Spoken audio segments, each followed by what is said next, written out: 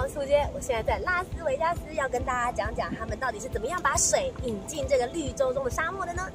拉斯维加斯是一个几乎没有水的地方，所以他们所有的水源都是从外面引进进来的。那到底怎么引进进来的呢？其实他们就是用很粗很粗的水管，然后想办法通过地底下送来这个绿洲中的大城市。他们总共有三个不同的地方，包含雪山上面的水，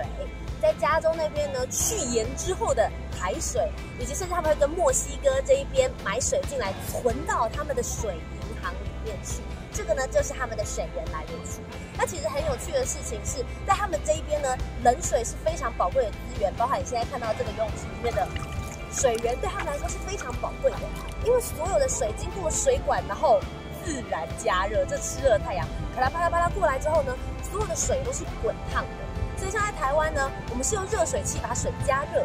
他们这边呢是想办法把热水变成冷水，因为这边天气实在太热了，没有冷水真的是 A 系呢。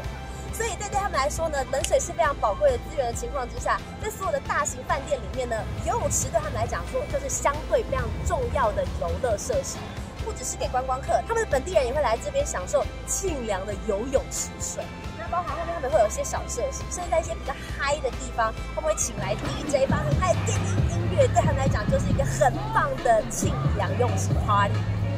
那他们对于省水这件事情，其实也是相当有一套的。在他们的周边呢，有一些政策规定，包含像是呃，他们美国人家里都会有院子，那他们的院子呢，草坪是规定不能够超过院子的二分之一的，原因是因为。要洒水啊！水超级宝贵，竟然拿来喂植物。另外呢，使用自动的喷洒系统的话，政府也会给你相当的补助。那当然，如果一些新式的建筑呢，它一定要有省水的连蓬头，所以你的水不会非常非常的大。然后你会有省水马桶，甚至还会有所谓的隔热建材，让你在室内里面呢，可以不要喝到这么多水，然后不用到这么多的冷气，也能够稍微节省一些能源跟资源哦。所以大家如果下次有机会来到这边拉斯维加斯的话呢，记得一定要好好享受这些冷水设施，对他们说得来不易。以上呢就是我今天的分享，如果大家喜欢的话呢，记得要订阅我的频道，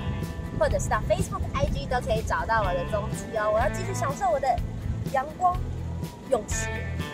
比基尼妹还没有来，等一下我考虑自己当一下的。完美做完，其实很热，超级热的。